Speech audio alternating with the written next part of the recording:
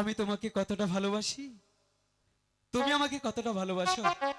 না তুমি মনে হয় আমাকে এখনও ভালোবাসতে পারোনি। কারণ আমি তুমি এটাই ভাবছ যে আমি কোন দেশের কোন ভিন পুরুষ? আমি কিন্তু সত্যি সত্যি তোমাকে সখী ছেলে সে যখন এত করেই ভালোবাসে তাহলে তুই ভালোবেসে যায় তাই না? ভালোবাসলেই তো আর বিয়ে হয়ে গেল না তাই না? না।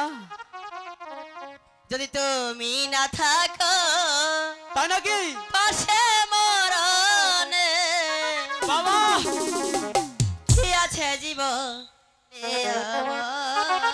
তাই নাকি?